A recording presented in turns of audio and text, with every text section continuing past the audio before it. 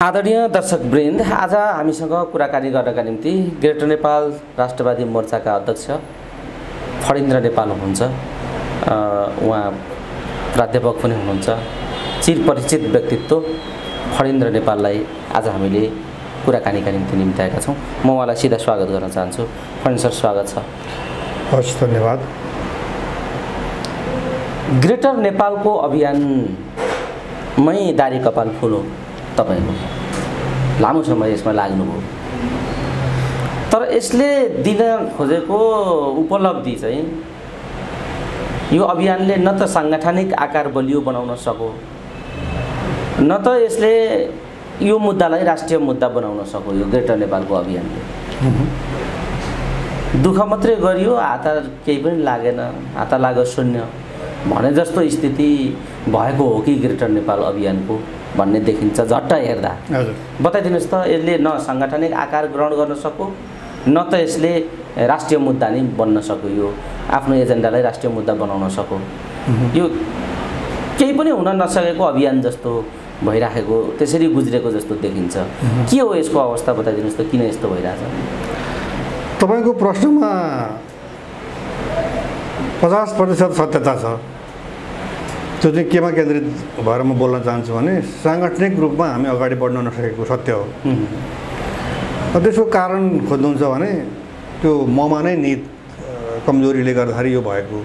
त्यो त्यो पक्ष के भने म चौन्न पचपन्न सालतिर कान्तिपुर पत्रिकामा काम गर्न पुगेँ। त्यसको चाहिँ सम्पादकीय पृष्ठमा म सहायक भूमिकामा थिएँ। अनि त्यसमा त्यही कक्षमा भनौँ न एउटै कोठामा चाहिँ कोसेली हेर्ने पत्रकार युवराज गौतम पनि सँगै बस्नुहुन्थ्यो। अनि अब त्यही काम गर्न पुगिसकेको अनि कोसेलीमा चाहिँ अब अलिक बढी आकर्षण हुन्थ्यो क्या मानिसहरूको। अनि मैले चाहिँ यो सुगौली सन्धिसँग सम्बन्धित अनि दार्जिलिङमा सुभाष घिसिङले गोर्खाल्यान्ड आन्दोलनका निम्ति चालेका सङ्घर्षका कुराहरू त्यस त्यसको डकुमेन्टेसन पनि बिस्तारै हुँदै गइरहेको थियो। ती सामग्री मसँग भएको हुनाले मैले चाहिँ युवराजीलाई के भने युवराजी यो नेपालीहरूलाई पनि काम लाग्ने नै विषय हो। अभिलेखीकरण पनि हुन्छ। सुगोली सन्धि चाहिँ कसरी भयो नेपाल कसरी सानो भयो यस्ता कुराहरू चाहिँ केही समय दिन सकिन्छ कि भनेको ल्याउनुहोस् न। घाँसफुस पारेर छापौँला नि गाह्रो त गाह्रै हुन्छ। अनि पहिलो आर्टिकल छापिने बित्तिकै चाहिँ सम्पादकले अब बोलाएर यो त बन्द गरिहाल्नु पऱ्यो मलाई त चाहिँ इन्डियनहरूले मलाई चाहिँ एकदम प्रेसर गरिहाले। भनौँ न। कसरी नेपाल सानो भयो भन्ने मा त अब सुगोल सन्धि भएर सानो भयो भनेको छ। अनि सुगोल सन्धिको कुरा उठेको चाहिँ इन्डियनहरू सुन्नै नजाने रहेछन् कि। तर पनि अब त्यसको चाहिँ संयोजक कसैलेको संयोजक युवराजजी हुनुभएको हुनाले लगातार हामीले चाहिँ एक न एक बाना गर्दै सकिने आँट्यो भन्दै सन्ताउन्नवटा आर्टिकल छापियो मेरो त्यहाँ। अनि त्यति बेला चाहिँ मलाई पत्रचार पनि हुन्थ्यो बाहिरका मान्छेहरूबाट नेपालभित्रैबाट पनि। तपाईँ चाहिँ सङ्घर्षको आह्वान गर्नुहोस् हामी चाहिँ साथ दिनु तयार छौँ भन्नुहुन्थ्यो। अनि तर मेरो चाहिँ यो कुरा फ्लोरमा ल्याइदिने कुनै न कुनै पार्टीले यो विषयलाई समातेर लान्छ भन्ने अपेक्षा थियो। त्यो त देखिएन। त्यो नदेखिएपछि अनि एकीकृत नेपाल राष्ट्रवादी मोर्चा भन्ने सङ्गठन दर्ता गरेर सिडिओ कार्यालयमा। अनि हामीले चाहिँ काम सुरु गऱ्यौँ। पाँच सातजना कहिले काहीँ पन्ध्र सोह्रजना। अनि कहिले काहीँ त अब चाहिँ विद्यार्थीहरूले साथ दिँदाखेरि सय पचासजना पनि भएर पनि हामी इन्डियन एम्बेसी अगाडि विरोध कार्यक्रम गर्थ्यौँ। त्यो चाहिँ के भने दलहरूले वा अरू कुनै सङ्गठनले उठाउँदै नउठाएपछि ए यो त चाहिँ सुसुप्त भएर पो जाने हो कि भन्ने लागेर चाहिँ गरियो। अनि तपाईँले भन्नुभयो जस्तै म क्याम्पसमा प्राध्यापन गर्ने मान्छे। अनि सङ्गठन विस्तार गर्दै हिँड्ने कुरा पनि त्यति व्यावहारिक रूपमा सम्भव थिएन। अथवा चाहिँ त्यो मेरो चाहिँ चरित्र राजनीतिक प्रकृतिको अलिक कम नै भएको हुनाले त्यतापट्टि भएन। तर के भने जहाँसम्म यो चाहिँ हात लाग्यो सुन्न भन्ने कुरा छ यसमा म सहमत छैन। हात लाग्यो थुप्रै कुरा हात लाग्यो। होइन? त्यो थुप्रै कुरामा चाहिँ म के भन्छु भने पछिल्लो चरणमा इन्डियामा त्यहाँका प्रधानमन्त्री नरेन्द्र दामोदर दास मोदीले जब नवनिर्मित संसद भवनमा चाहिँ अखण्ड भारतको चाहिँ मुराल भित्तेचित्र राखेको देखाएपछि तर त्यसलाई चाहिँ इन्डियाको गाइडलाइन भन्ने कुरा चाहिँ एस जयशङ्करले भन्दै गएको बिजेपीका पार्टीहरूले पनि यो हाम्रो चाहिँ गाइडलाइन हो। हामी यसअनुसार चाहिँ इन्डिया बन्छ। हामी फेरि पनि एकदम अखण्ड भारत बनाउँछौँ। भन्ने खालको जुन भाष्य निर्माण गर्दै उनीहरू चाहिँ अगाडि आए। अनि त्यसको विरोध भयो। विरोध भइसकेपछि उनीहरूले चाहिँ यसलाई सांस्कृतिक नक्सा अशोकले चाहिँ विस्तार गरेको साम्राज्यको मात्रै देखाएको हामीले। जबकि त्यो अशोकको साम्राज्य उनीहरूले त्यहाँ देखाए जस्तो छैन। इतिहास साक्षी छ। त्यसको जवाफी अब कारवाही भन्ने कि अब कारवाही नभनौँ प्रत्युत्तरमा भनौँ। काठमाडौँका मेयर बालन शाहले आफू यहाँ नहुँदा नहुँदै पनि आफ्ना कर्मचारीलाई अराएर उहाँले चाहिँ आफ्नो कार्यकक्षमा रहेको नेपालको चुच्चे नक्सालाई अब विस्थापित गरेको नभनौँ। केही समयलाई अर्कोतिर पन्साएर उहाँले त्यो ठाउँमा चाहिँ ग्रेटर नेपालको नक्सा राख्नुभयो र ग्रेटर नेपालका फेरि थरी थरीका नक्सा छन्। ज्योतिजी बेलायतकालीन नक्साहरू छन्। त्यो थुप्रै नक्सा छन् तर त्योदेखि अतिरिक्त चाहिँ नेपालीले आफै बनाएको भनेको चाहिँ वंशु गुरुङ भन्नेले बनाउनु भएको थियो अरे इतिहासमा। जति बेला नेपाल चाहिँ टिस्टादेखि हतलजसम्म काँगडासम्म पुगेको थियो। अनि त्यो नक्सा चाहिँ लालबागसमा थियो अरे। दरबारमा थियो त्यो। अब ज्ञानेन्द्रले दरबार छाडेपछि त्यो उहाँले कसलाई बुझाउनु भयो? त्यसरी हाम्रो सरकारले त्यो कहाँ लगाएर राखेको छ? त्यो खोलियो कि खोलिएन? अथवा त्यो बाकसै गायब भयो कि? त्यो चाहिँ अब तपाईँहरू जस्ता पत्रकारले खोजी गर्नुपर्ने विषय हो होइन? मैले भन्न खोजेको त्यसमा चाहिँ वंशु गुरुङले हातैले बनाएको ग्रेटर नेपालको नक्सा थियो अरे त्योदेखि अतिरिक्त चाहिँ ग्रेटर नेपालको नक्सा बनेको भनेको चाहिँ ग्रेटर नेपाल राष्ट्रपति मोर्चाको अब म अध्यक्ष। मेरो सक्रियतामा अथवा मेरो होटुटीमा चाहिँ मेरो चाहिँ अब कहिले बन्छ कहिले बन्छ भन्ने किसिमको एउटा तत्परता पनि मा बुद्धिनारायण श्रेष्ठ चेतेन्द्रजङ हिमाली दुवैजनालाई तपाईँ चिन्नुहुन्थ्यो। चिन्छु म राम्रो। हिमा हिमाली दिवङ्गत भइसक्नु दिवङ्गत हुनुभयो। अनि उहाँहरूको चाहिँ अब निर्देशन सल्लाह यहाँदेखि यहाँसम्म भन्ने जुन ज्ञान उहाँहरूले दिनुभयो त्यसलाई चाहिँ प्रयोग गर्दै उपयोग गर्दै अनि एकजना भरतमान श्रेष्ठ भन्ने उहाँ चाहिँ डिजाइनर हो त्यो नक्साको। त्यसरी हामीले बनायौँ। हामीले चाहिँ बनाएको कारण के भने सुगौली सन्धिमा जमिन गुमेपछि कस्तो नक्सा हुन्छ? अथवा सुगौली सन्धिभन्दा अगाडि हामी पुग्दाखेरि हामी पुगेको अवस्थामा कस्तो नक्सा? किनभने ब्रिटिसले बनाएको नक्सा त कुनै पनि एकरूपता छैन। कुनै लामो छ कुनै तल पेट झरेको छ कुनै फेरि कतातिर चुच्चो परेको छ काहीँ चाहिँ पखेटा हाले जस्तो छ त्यो एकरूपता भएन नि त। यदि हामी चाहिँ टिस्टा सत्रसम्म चाहिँ हुँदाखेरि त्यो नक्सा के हो त भन्दाखेरि चाहिँ त्यो देखाउनु पऱ्यो भनेर त्यो नक्सा बनाइयो। मैले यो भन्नुको कारण चाहिँ के भने संयोगवश म त सौभाग्यवश भन्छु हामीले बनाएकै नक्सा चाहिँ बालन शाहले आफ्नो कार्यकक्षमा राख्न लगाउनु भयो त्यो विश्वव्यापी नै भयो भनौँ न किसिमले किनभने युरोप अमेरिका पनि पुग्यो इन्डिया पनि इन्डियामा त व्यापकै भयो। पाकिस्तानमा बङ्गलादेशमा अब अफगानिस्तानमा चिनमा यो सबैतिर चाहिँ यसको चर्चा भयो समाचारहरू आयो। म तपाईँलाई भन्दैछु उपलब्धि के? भन्दा नेपालीलाई पनि कतिपयलाई कतिपय त के भन्ने धेरै प्रतिशतलाई ग्रेटर नेपाल के हो भन्ने बारेमा थाहा थिएन। ग्रेटर नेपाल बारेमा बोल्न हुन्छ कि हुँदैन? इन्डियाले के गर्ने हो भन्ने थियो। बालन शाहले बोलेपछि त केही पनि गर्न सकेन इन्डियाले। किनभने बोल्न त पाइँदो रहेछ बोल्न हुने रहेछ। हामीले प्रयास गर्दा हुने पनि सक्ने रहेछ भन्ने कुरा पनि भयो एउटा। नेपालीले सबैले थाहा पाए। अर्को चाहिँ इन्डियामा यति धेरै यसको चाहिँ समाचार आयो।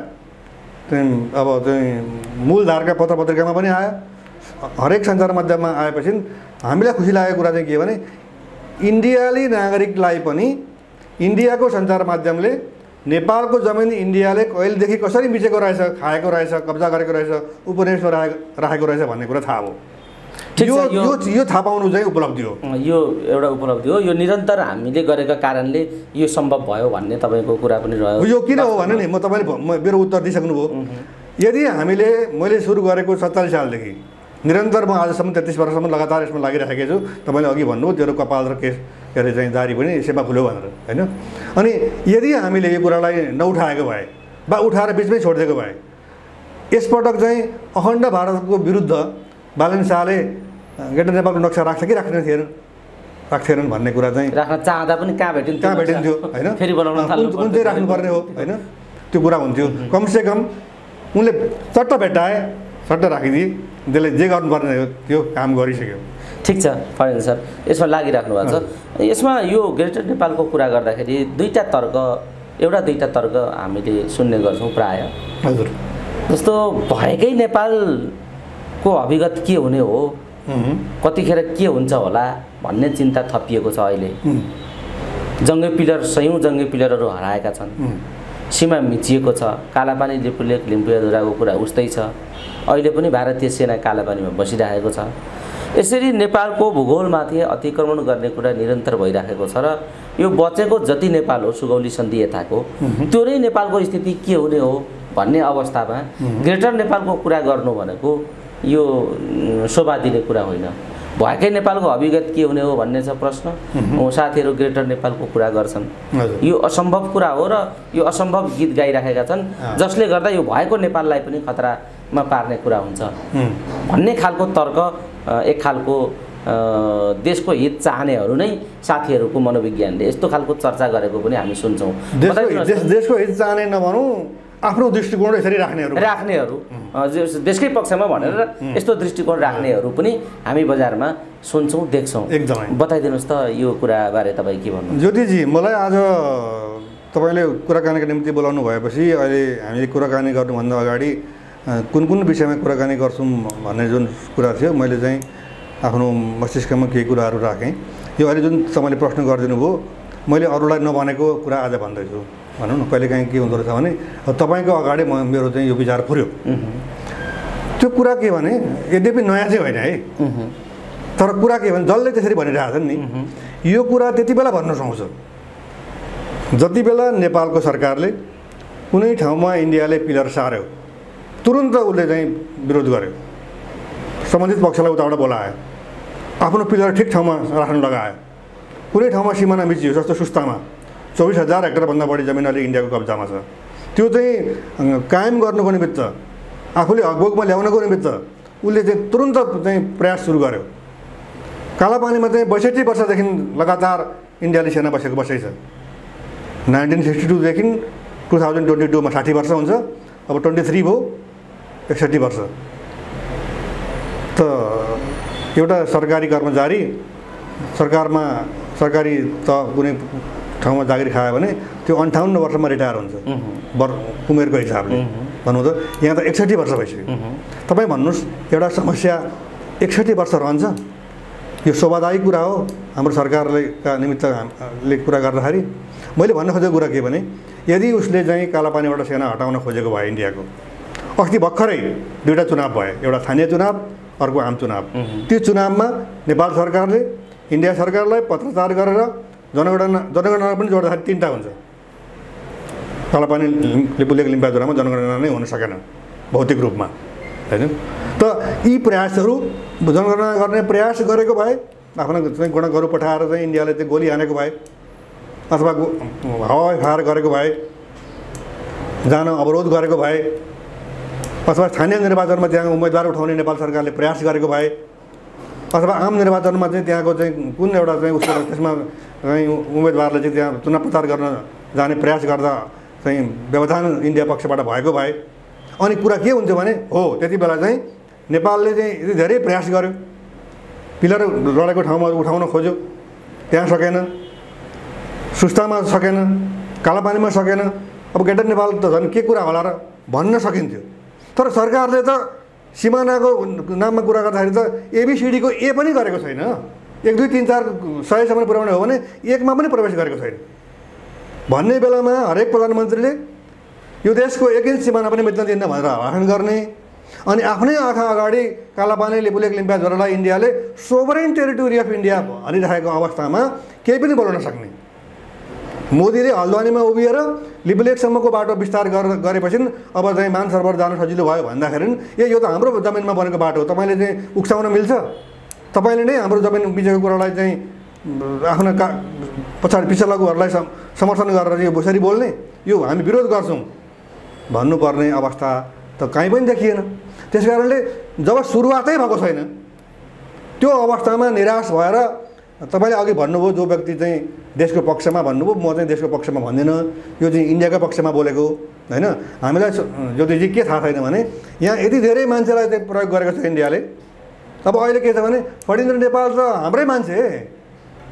हामीले त्यसलाई काम लगाएको अब बिस्तारै चाहिँ यो के अरे नेपाललाई चाहिँ ग्रेटर नेपाल बनाएर अनि जनसङ्ग्रह गरेर ग्रेटर नेपालै इन्डियामा मिलाइदिने। यस्ता कुरा पनि सुन्छु म। ताकि म बिचैमा छोडौँ। ऊ एउटा तपाईँले सुन्नुभएको छ नि एउटा कथा। फटाहरूले चाहिँ मासु खाना खोजे पैसा छैन गोजीमा। खसी किनेर आएको एउटा मान्छेलाई चाहिँ हो कुकुर किनेर ल्याउनु भयो भने एउटाले। उनीहरू चार पाँचजना चाहिँ लहरै बसिरहेको थियो लहरै भन्नाले पन्ध्र बिस मिनट पन्ध्र बिस मिनटको अन्तरमा। अनि अर्कोपल्ट अलिक बजेर पुग्यो। ओहो कुकुर त राम्रो ल्याउनु भएछ भने तेस्रो व्यक्तिले पनि कुकुरै भन्छ। तेस्रो व्यक्तिले कुकुर भनेपछि त्यो मान्छेलाई शङ्का भयो। के हो सबैजना कुकुर भन्छन्? भन्दा उसले घरि कुकुर देख्छ त्यो खसी खसीलाई घरि खसी देख्छ। अनि एकदम दुविधा भयो उसलाई। अनि चौथो व्यक्तिले पनि ओहो हजुरले खसी डोराउँदै आउनुभएको रहेछ म डोराइदिन्छु घरसम्म म पुर्याइदिन्छु हेरे कुकुर! भन्यो। उसलाई त झनक्क छिट्यो यसो हेरेर कुकुरै देख्यो। हातको हातमा डो जुन डोरी थियो छोडिदियो। खसी चाहिँ जुन बाटो आएको त्यही बाटो फर्क्यो। किनभने ऊ त नयाँ ठाउँमा आएको थियो ऊ पुरानै ठाउँमा फर्किन जान्छ बाटोमा त छ घरले भेट्टायो फेरि। अनि मासु खाए भने जस्तै अब ग्रेटर नेपालको विरोधीहरूले चाहिँ अब ग्रेटर नेपाल भनेको चाहिँ नेपाललाई नै सिधाउने खेल हो भनेपछि त ए यिनीहरू चाहिँ यो पथबाट विचलित हुन्छन् कि? यो कुरा छोड्छन् कि? भन्ने सोच राखेर इन्डियन एम्बेसीको प्रायोजनमा यी कुराहरू भएका छन्। सबैले यसो भन्छन् म भन्दिनँ तर के भने गाइडलाइन इन्डियाबाट आएको छ। कि जसरी हुन्छ ग्रेटर नेपालको अवधारणालाई व्यवधान पुर्याउने? तर नि तपाईँले तपाईँले। यसो भन्दै गर्दा तपाईँको। दृष्टिकोणमा त्यो अर्थ लगाएर तपाईँले त्यो भन्दै गर्दा तपाईँले अहिले पनि भन्नुभयो जस्तो साठी एकसट्ठी वर्ष भयो कालापानीमा भारतीय सेना बसिराखेको छ। सुस्तामा सयौँ हेक्टर जमिन चाहिँ नेपालको जमिन। कालापानी भन्दा पुरानो बढी- पुरानो मुद्दा हो पुरानो पुरानो मुद्दा हो। त्यहाँनिर त्यस्तो भएको छ भनेर तपाईँले भन्नुभयो। हजुर। तपाईँको यही भनाइले पनि पुष्टि गर्छ नि त अहिले भएको नेपाललाई पनि सङ्कट परिराखेको छ भन्ने कुरा। होइन होइन। सङ्कट परेको हो कि सङ्कट पारिएको हो ज्योतिजी? हामी जिब्रो तपाईँको नै कुरा गरौँ। म तपाईँलाई अघि भनिसकेँ पिलर नउठाउने। तपाईँ सिडिओ कार्यालयमा तपाईँ यहाँबाट फोन गर्नुहोस् भोलि अथवा अहिले नै गर्नुहोस् कुनै सिडिओलाई तराईको। उसलाई भन्नुहोस् सिडिओ साहब तपाईँको जिल्लामा कतिवटा पिलर लडेका छन्? कतिवटा पिलर चाहिँ मर्मत गर्नुपर्ने अवस्थामा टुटे फुटेका अवस्थामा छन्? कतिवटालाई खोलाले बगायो? कतिवटा थिए र कतिवटा चाहिँ मौजुद छन् अहिले भनेर सोध्नुहोस्। कुनै पनि तराईको चाहिँ सिडिओले भनेछ भने म तपाईँले मलाई एकपल्ट फोन गर्नु होला। भटिनजी तपाईँले भनेको कुरा गलत निस्कियो। हरेक सिडिओ चाहिँ एकदम हाजिर जवाफी भएर बसिरहेको छन् भन्नु होला। छैन। म भन्दैछु तपाईँलाई कुरा के केमा केन्द्रित हुन चाहन्छु भने तपाईँले भनेको कुरा पिलर उठाएनन् सुस्ता मिचेको हेरेनन् सुस्तामा नागरिकता पाउनलाई आतुर भएर सुस्ताको माटो बजाएर बसेका मान्छेहरूलाई नागरिकता दिएनन्। होइन नेपालका चाहिँ गृहमन्त्रीहरूले अनि अब कालापानीको कुरा देखिहाल्नुभयो त्यसबाट हाम्रै बाटोबाट चाहिँ हाम्रो हाम्रै जमिनबाट करिब बाइस तेइस किलोमिटर जमिन चाहिँ त्यो लिपुलेकसम्म हुँदै चाहिँ अनि चिनको सिमाना तिब्बतसम्म पुग्ने बाटो बनाइरहेछन् त्यसमा हामीले विरोध गरेनौँ यो हेर्दाखेरि मैले तपाईँलाई अघि भनिसकेँ नि हो यस्तो नगर्ने सरकारले ग्रेटर नेपालको कुरा गर्छ भन्ने प्रश्न जायज छ तर यसको अर्थ हामीले प्रश्न उठाउनै हुँदैन। हामीले मुद्दा उठाउनै हुँदैन। हामीले अभिलेख खोज्नै हुँदैन भन्ने कुरा त होइन नि। ठिक छ। यो यो पनि प्रसङ्ग आएको हुनाले मैले तपाईँसँग जिज्ञासा राखेको थिएँ। अर्को प अर्को पाटो यो सँगसँगै अर्को पाटो पनि अहिले बजारमा चर्चा छ। मान्छेहरू यस्तो विश्लेषण पनि गरिराखेका छन् कि। वास्तवमा फणेन्द्र नेपालहरूले जे मुद्दा उठाए त्यो कसरी सम्भव छ र भन्ने लाग्थ्यो हामीलाई। हजुर। यो अकल्पनीय र असम्भव मुद्दाहरू बोकेर साथीहरू समय खर्च गरिराखेका छन्। भन्ने हामीलाई लाग्थ्यो। तर होइन रहेछ। परिस्थिति त ग्रेटर नेपालको अनुकूल पो बन्दै गयो। हजुर। यस्तो भन्ने मान्छेहरू पनि छन्। र ग्रेटर नेपाल सम्भव छ है। सम्भव रहेछ सम्भव भएकै मुद्दाहरू अ, फणेन्द्र नेपालहरूले बोकेका रहेछन्। किनभने परिस्थिति त्यतातिर उन्मुख भयो। त्यो मुद्दातर्फ उन्मुख भइराखेको स्थिति छ। भन्ने तर्क पनि हामी सुन्छौँ। तर त्यो अमूर्त छ। किन मान्छे यसो भन्छन्? कसरी परिस्थिति बन्दै गएको छ? बताइदिनुहोस् न। ज्योतिजी मैले एउटा अन्तर्वार्तामा तपाईँ जस्तै अर्को पत्रकार साथीसँग के भनेको थिएँ भने ग्रेटर नेपाल चाहिँ नाटकीय रूपमा प्राप्त हुन्छ। त्यसो भन्न थाले अरू मान्छे पनि थाले। तपाईँले त्यसो भन्दा। यो के भनेको होला फणेन्द्र नेपालले यो असम्भव कुरा?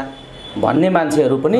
अहिले वास्तवमा अ, फणेन्द्रजीहरूले सुरेन्द्र ढकालजीहरूले उठाएको कुरा सम्भव भएको कुरा रहेछ भन्न थाले मान्छेहरू। उहाँहरूले चाहिँ ठिक आफ्नो अवधारणा बनाउनु भयो कसरी त्यो सम्भव हुँदैछ होइन सम्भव कसरी हुँदैछ भन्नुहुन्छ भने एउटा कुरो त हेर्नुहोस् कुनै पनि वस्तुलाई मूर्त रूप दिएन भने त्यसमा जनमानसलाई आकृष्ट गर्न सकिँदैन। बालन शाहको एउटा भनौँ न साहसपूर्ण कदमपछि उनले त मोदीलाई टक्कर दिएको हो नि त। उताबाट मोदीले। साहसपूर्णै हो त्यो। होइन म चाहिँ साहसपूर्ण भन्छु। यस्तोलाई कहिलेकाहीँ चाहिँ दुस्साहसपूर्ण भने पनि त्यसलाई नकारात्मक रूपमा नलिएर एकदमै ठुलो साहस गरियो भने त्यसलाई दुस्साहस पनि भनिन्छ कि। कुरालाई चाहिँ सम्भव देखाउनुको निमित्त लागिन्छ भने त्यसलाई दुस्साहस भनिन्छ होइन? अनि हामीलाई कल्पना गरेका थिएनौँ। मैले चाहिँ जस्तो हिजो पनि तपाईँलाई चाहिँ एउटा समाचार दिनुहोस् भनेर एउटा चिज पठाएको थिएँ। त्यो के थियो भने हामीले उन्नाइस सय सत्तालिसको जुलाई अठारमा बेलायतको पार्लियामेन्टले इन्डियन इन्डिपेन्डेन्स एक्ट भन्ने एउटा चाहिँ ऐन पारित गर्यो। त्यो ऐनको आधारमा पाकिस्तान अगस्त चौधमा इन्डिया चाहिँ अगस्त पन्ध्रमा बनेका हुन्। हुन्छ है ऐनअनुसार त्यहाँ ब्रिटिसहरूलाई चाहिँ लाठो लिएर अथवा त्यो गोली पड्काएर के अरे चाहिँ आम हडताल गरेर ब्रिटिसहरू भागेका होइनन्। हेर्नुहोस्। उनीहरूले त बकाइदा आफ्नो पार्लियामेन्टबाट पार्लियामेन्टबाटै पास भएको इस्ट इन्डिया कम्पनीबाट इन्डिया आए। पार्लियामेन्टबाटै पास भएको इन्डियन इन्डिपेन्डेन्ट एक्ट अनुसार उनीहरू छोडेर गए। पाकिस्तान र इन्डिया बनाएर। त्यसमा चाहिँ नेपालको जमिन पनि स्वतन्त्र भएको कुरा इन्डियन इन्डिपेन्डेन्स एक्टमै उल्लेख छ। भने हामीले चाहिँ अस्ति गएको अठार तारिकमा जुलाई अठारमा आज एक्काइस भयो। मोदीलाई एउटा पत्र पठायौँ। एउटा नेपालको नक्सा पनि हामीले उहाँको लागि चाहिँ समर्पित गऱ्यौँ। गरेर पठायौँ हामीले। यद्यपि हामीलाई चाहिँ हाम्रो मेमोरेन्डम इन्डियन एम्बेसीले बुझेन बुझ्दैनौँ भने त्यसो भए गोर्खा हुलाकबाट चाहिँ रजिस्ट्री गरेर पठाइयो। होइन? मैले भन्न खोजेको कुरा के भने यदि हामीले यो कुरा चाहिँ फेरि पनि उठायौँ किनभने तिमीले चाहिँ इन्डिपेन्डेन्स एक्ट अनुसार स्वतन्त्र भयो हाम्रो जमिन चाहिँ उपनिवेश बनायो यो पाउँदैनौ फिर्ता गर हामीले त्यसमा भनेका छौँ। त बालेन शाहले त्यो नक्सा राखेपछि मान्छेलाई चाहिँ मनमा थियो मुखमा पनि आयो ग्रेटर नेपाल भनेर सबैले भन्न आयो विश्व समुदायको ध्यान आकृष्ट पनि भयो। आकृष्ट आकृष्ट भयो होइन? अनि अब यो कुरा चाहिँ इन्डियाले गोवा छोडेन। जबकि गोवा उसको होइन। खालि यति मात्रै हो कि इन्डियाको नक्सा हेर्दाखेरि चाहिँ समुद्री किनारमा छ गोवा। उसले चाहिँ अब यो हाम्रो जबकि छ सय पचास वर्ष कि चार सय पचास वर्ष पुरानो चाहिँ पोर्चुगलको उपनिवेश हो त्यो। गोवा। किनभने हामीले चाहिँ ज्योतिजी कुरा गर्दाखेरि के केमा केन्द्रित भएर गर्नुपर्छ भने इन्डियाका मान्छेहरू कुरा गर्दाखेरि चाहिँ इन्डिया भन्ने मुलुक पहिलेदेखि नै ठ्याप्पै थियो। त्यहाँ चाहिँ ब्रिटिसहरू आउँदै आएनन्। आउँदै आएनन् उनले एक गर्दै गरेनन्। उपनिवेश। बनाएनन्। भने जस्तो ढङ्गले ढङ्गले कुरा गर्छन् उनीहरू। हामी त करोना चाहिँ हामी पौराणिक पात्र हुन् नि।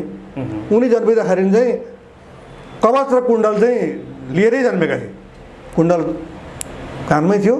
छातीमा कवच थियो। त्यो पछि टाँसेको होइन।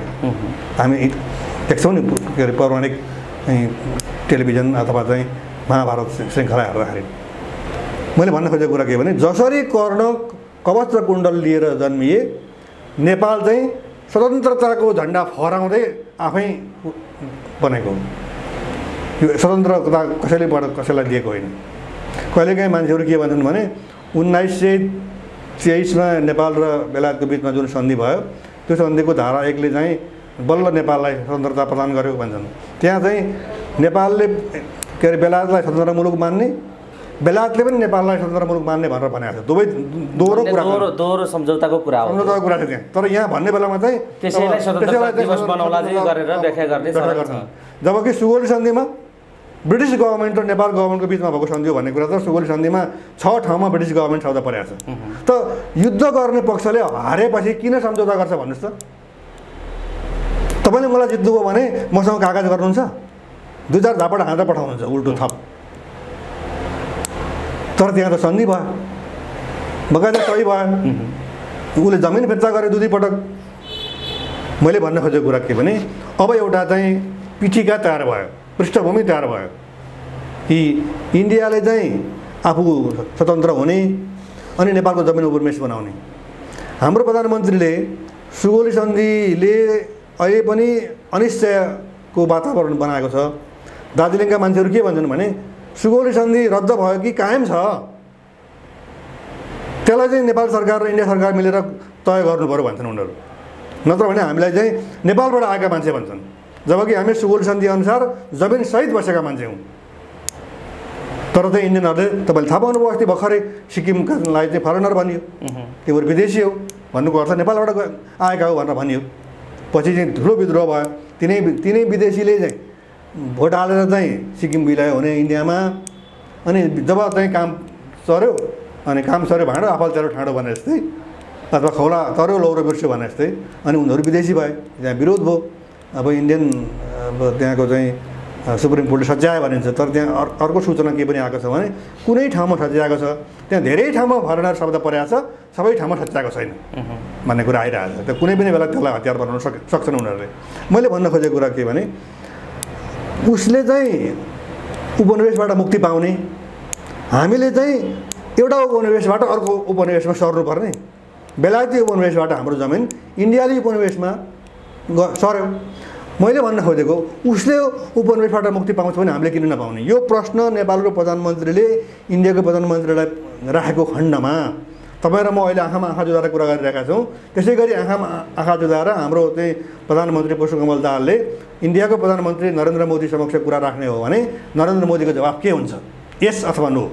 यस भन्यो भने कुरा सिद्धियो प्रक्रिया सुरु हुन्छ। कहाँदेखि कहाँसम्मको जमिन उसले हामीलाई छाड्ने? कति नेगोसिएसन हुन्छ? के के कुरामा हुन्छ? नो भन्यो भने हाम्रो प्रधानमन्त्रीले वाइ भन्नु पऱ्यो वाइको उत्तरै मोदीसँग छैन। तर कुरै गर्न डराउने। इपिजीको प्रतिवेदनको बारेमा सोध्यो भने मेरो चाहिँ भ्रमणको वातावरण बिग्रिन्छ भनेर उहाँ नसोधिकन आउनु भने तपाईँले अघि जुन साथीहरूको हवाला दिएर चाहिँ सन्दर्भ दिएर कुरा गर्नुभयो यदि कसरी हुन्छ र यो असम्भव कुरा भन्नुभयो नि त्यस्ता कुराले चाहिँ त्यो प्रश्न गर्न बाध्य पार्छ क्या मान्छेहरूलाई।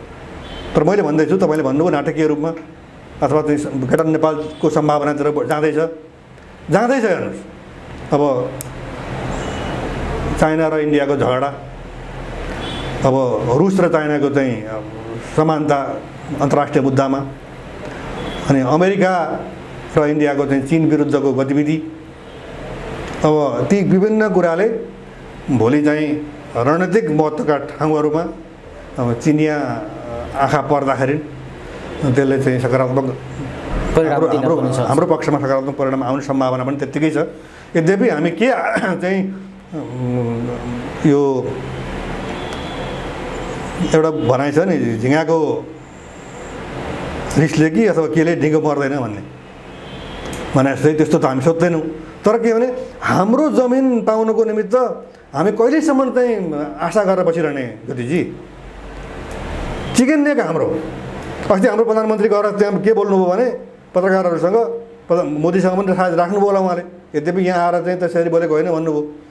उहाँ चाहिँ हाम्रो चाहिँ कालापानी लिपुलेक लिम्बाजुरा दिएर त्यहाँको चिकन नेक लिने बाटो लिने भन्नुभयो।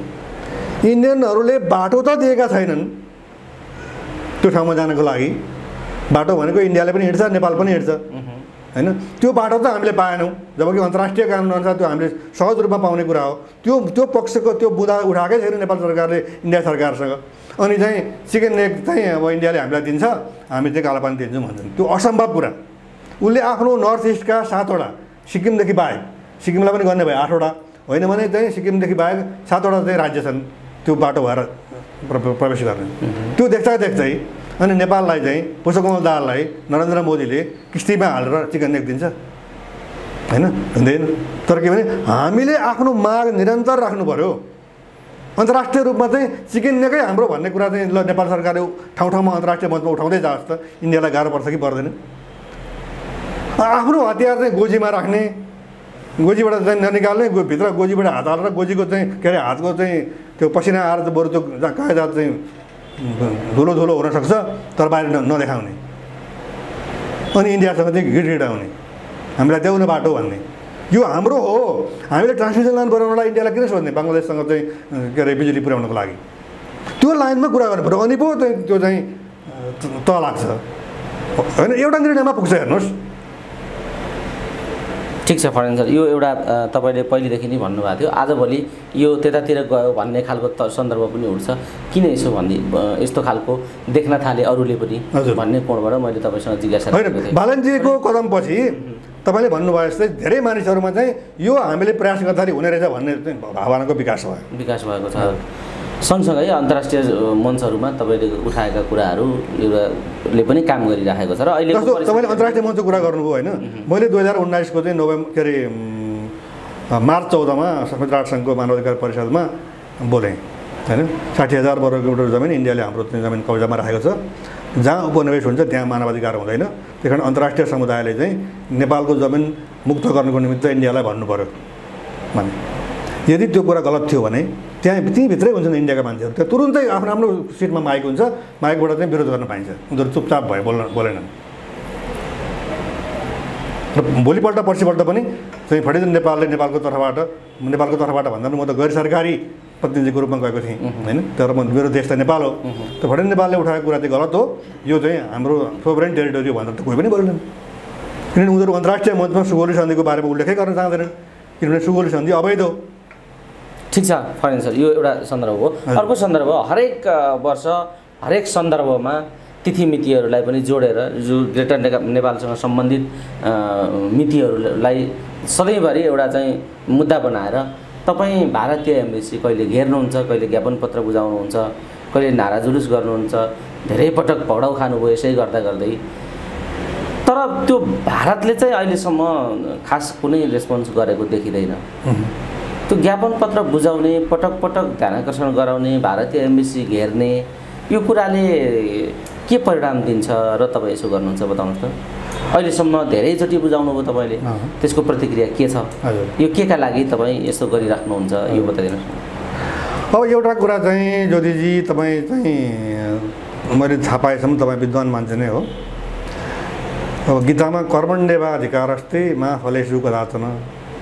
भनेको छ। त्यसको अर्थ चाहिँ के हो भने अब काम गर फलको आशा नगर भनेको फल भनेको चाहिँ जस्तो चाहिँ किसानले अन्नबाली लगायो। कहिलेकाहीँ ठुलो हावाहुरी आउँछ सत्तर जमिनमै झारिदिन्छ। कहिलेकाहीँ पाक्न लागेको धान असिना आउँछ उठाउनु नसक्ने अवस्थामा पुर्याइदिन्छ किनभने त्यो कर्म गरेर फलको आशा गरिराख्यो भने मान्छेलाई निराशा हुन्छ। त्यही कारण आफ्नो काम चाहिँ खेती किसानी गरिरहने। भने भने जस्तै हामीले पनि आफ्नो काम गरिरहने। एउटा कुरा चाहिँ तपाईँ मार्फत म नेपाली जनमानसमा के कुरा भन्न चाहन्छु भने हामीले काल्पनिक कुरा गरेको होइन नि सतीजी हामीले त उन्नाइस सय पचासको Nepal India peace and friendship ट्रिटीको article eight जसले सबै सन्धि सुगोल सन्धि समेत रद्द हुन्छ बेलायतसँग गरेको भनेर चाहिँ इन्डियाको तर्फबाट सर्वाधिकार सम्पन्न राजदूत सिपिएन सिन्हा नेपालको तर्फबाट त झन् श्रीदिन महाराज तथा प्रधानमन्त्री मोहन शमशेर। मोहन शङ्कर उनीहरूले सही गरेर सुगोल सन्धि अब अस्तित्वमा छैन भने। नेपाल र बेलायतले फेरि त्यो जुलाई एकतिसभन्दा पछाडि जुलाईपछि अगस्त सेप्टेम्बर अक्टोबर अक्टोबर तिसमा उन्नाइस सय पचासकै अक्टोबर तिसमा सन्धि गरेर अब सुगोल सन्धि अस्तित्वमा छैन। चाहिँ किनभने यहाँ पाकिस्तान र इन्डिया जस्ता दुईवटा मुलुक बनिसके अब सुगोल सन्धि रद्द भएको हुनाले अब हामी नयाँ सन्धि गरौँ भनेर नयाँ सन्धि गरे। भनेपछि सुगोल सन्धिकारी पक्ष नेपाल र बेलायत। उनीहरूले पनि सही गरेर सुगोल सन्धि छैन अस्तित्वमा छैन भने समाप्त भयो भने इन्डियाले पनि नेपालसँग सही गरेर सुगोल सन्धि छैन है भने। अनि त्यसको अर्थ के हो? म तपाईँ मार्फत इन्डियाली पक्षसँग पनि सोध्छु नेपाली पक्षसँग पनि सोध्छु। सुगोल सन्धि छैन भनेपछि सुगोल सन्धि चाहिँ कागजमा सिद्धियो जमिन चाहिँ अनिखेर छोडेको छोडै गर्नु गर्ने भनेको हो। त्यो कहाँ लेखाएको छ? सुगोल सन्धि चाहिँ छैन तर जमिन चाहिँ फिर्ता हुँदैन भन्ने कुरा हुँदैन। हुँदैन भनेर लेखेको छैन। जबकि म तपाईँलाई अर्को सन्दर्भ दिन्छु उन्नाइस सय उन्चासमा इन्डियाले भुटानसँग सन्धि गर्यो। त्यहाँ सन्धि गर्दाखेरि चाहिँ अठार सय उन्चासमै ब्रिटिस र भुटानको बिचमा सन्धि हुँदाखेरि धेरै ठुलो जमिन भुटानको पनि ब्रिटिस इन्डियामा गाभिएको थियो। त्यो मध्ये बत्तिस वर्ग माइल भनेको है वर्ग किलोमिटर होइन वर्ग माइल अझ बढियो। त्यति जमिन चाहिँ उन्नाइस सय उन्चासमा भुटानसँग सन्धि गर्दाखेरि इन्डियाले फर्कायो भुटानलाई। दिवानगिरी भन्ने ठाउँको नाम छ। दिवानगिरी एरियामाको बत्तिस वर्ग माइल क्षेत्रफल चाहिँ भारत सरकार भुटान सरकारलाई फिर्ता गर्छ। र त्यसका निमित्त नाप जाँच सुरु हुन्छ। त्यो प्रक्रियाद्वारा भुटानलाई सुम्पिनेछ भनेको छ होइन? अनि तर त्यस्तो सन्धि त कि फिर्ता गर्नु भन्नु पऱ्यो कि गर्दैनौँ भन्नु पऱ्यो अनि भन्न चाहिँ बेलायतसँग गरेका तमाम सन्धि रद्द भयो भन्ने त्यसमा सुगोल सन्धि पनि छत्ता पऱ्यो अनि जमिन चाहिँ कब्जा गरेर राख्ने। यसको विरुद्धमा पो हामीले आवाज उठाएको त। ठिक छ। हामीले तपाईँले भन्नुभयो नि त्यहाँ पटक पटक चाहिँ विरोध गर्ने अब चाहिँ नाराजबाजी गर्ने तर केही पनि भएन। आफ्नो काम गरिराखेको हामीले त्यो काम नगरेको भए अघि पनि मैले भने सायदै बालन शाहले ग्रेटर नेपालको नक्सा त्यहाँ झुन्ड्याउँथे। ठिक छ फरेन सर। यो निरन्तर गरिराख्नु भएको छ। यो गरिराख्नुपर्छ यो हरेक नेपालीको कर्तव्य दायित्व पनि पर्न आउँछ यो। राष्ट्रप्रतिको कर्तव्य हुन आउँछ हजुर। अब नागरिकले कसरी सोच्छन् भोलि यो अभियानले कस्तो रूप लिन सक्छ भन्ने अर्को पाटो भयो। हामीसँग धेरै राष्ट्रियताका मुद्दाहरू चाहिँ यसरी कोचेल्टिएका छन्। एकातिर सङ्कट छन् अर्कातिर अवसर छन् चुनौती छन्।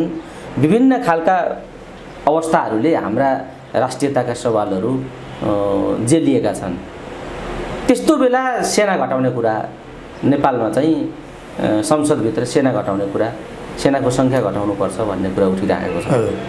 त्यसको तपाईँले कडा शब्दमा विरोध पनि गर्नुभयो। हजुर। यो यो अहिले यो अहिले यही घडीमा यिनै मान्छेहरूले सबै दल मिलाएर एउटा काङ्ग्रेसको एउटा एमालेको एउटा राष्ट्रपाको यसरी मिलाएर सेना घटाउने कुरा बाहिर संसदहरूले बजारमा ल्याउनु। अहिले यही ख यही घडीमा यो मुद्दा अगाडि आउनुको कारण के हो? र यो यो विषयमा तपाईँले किन यति धेरै प्रतिरोध गरिराख्नु भएको छ बताउनु मैले ज्योतिजीलाई जवाब दिनुभन्दा पहिले एउटा प्रश्न गरेँ। मैले मेरो जानकारीमा नभएको। नेपाली काङ्ग्रेसको तर्फबाट चाहिँ सेना घटाउनुपर्छ भनेर कसले बोल्यो? प्रदीप पौडेल। ए मेरो दिमाग चाहिँ सांसद प्रदीप पौडेल। होइन होइन थाहा पाइसकेँ मैले। विमला राई पौडेल। मेरो मेरो स्मरणमा रहेन। प्रदीप पौडेलको बारेमा। सुभना श्रेष्ठ। सुमना श्रेष्ठ? चार हजुर। अहिले सेना घटाउनुपर्छ। ज्योतिजी अब दुर्भाग्यवश अब पचपन्न अरब साठी अरब रुपियाँ आउँदाखेरि देशको कायापलटै हुने भने जस्तो गरी एमसिसी संसदले पारित गर्यो। अब त्यो एमसिसी कार्यान्वयनमा जाने चरणमा चाहिँ त्यसको सुरक्षाका निमित्त अमेरिकी सेना आउने भन्ने कुरा छ। मतलब चाहिँ अनि नेपाली सेना घटाउने कुरा यही बेलामा उठाएको छ। म तपाईँलाई दुई हजार सात सालतिर फर्काउन चाहन्छु। दुई हजार सात सालमा जब नेपालमा चाहिँ म भन्छु त्यसलाई कथित प्रजातन्त्र। होइन किनभने इन्डियाले दिएको नेपाली काङ्ग्रेसले आफू बलबुतामा ल्याएको भन्दा पनि अब त्यतापट्टि गयो भने फेरि कुरा अन्त्यतिर जान्छ। चाहिँ अब त्रिभुवनको दिल्ली दौडा। प्रवास भन्ने कि शरणार्थी भएर गएको भन्ने कि अनि त्यसबाट चाहिँ प्राप्त भएको बाई प्रोडक्ट हो भनौँ न।